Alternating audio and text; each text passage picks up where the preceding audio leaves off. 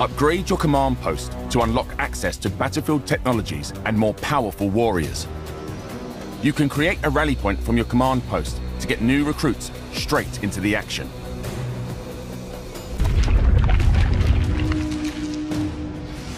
Across the battlefield, you will find arcane conduits.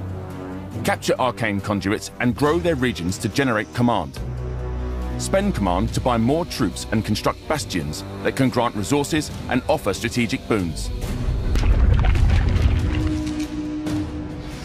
Each bastion offers its own special benefits. For example, the Lookout Bastion reveals enemies in its region and grants additional command. Upgrading a bastion increases its toughness and can offer additional benefits. For example, upgraded healing bastions let you summon multiple squads at a time.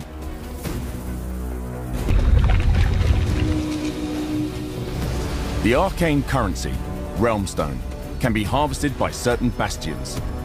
Spend Realmstone to research battlefield technologies and trigger squad abilities or upgrade your command post to unlock access to more powerful troops.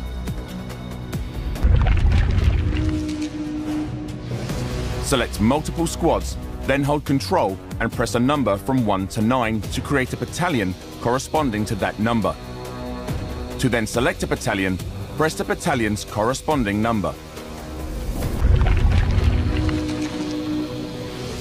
There are two types of move order in Realms of Ruin attack move orders, and direct move orders. Attack move orders. Enemies along the path will be attacked if in range. Pressing A and clicking right or left click will issue an attack move order. Direct move orders. Enemies along the path will be ignored unless engaged by them. Right click to issue a direct move order. Hold and release right click in a direction of your choosing to set which direction a squad will face.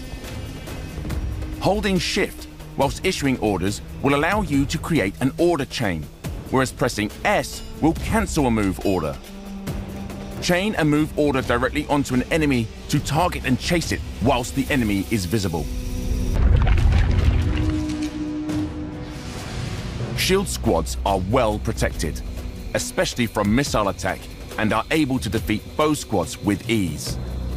Bow squads are able to attack from afar and deal effective damage against more lightly protected sword squads and flying squads. Sword squads hit hard and are able to break through the armor of shield squads with skill or raw power. Heroes are capable against all enemies and always have access to powerful abilities. These units are represented by a star. There are additional nuances to uncover. For example, war machines deal extra damage to monsters, and some ranged squads are more effective against heroes.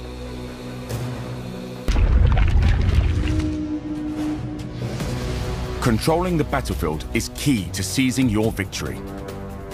Shrink enemy regions and destroy their bastions to attack their economy.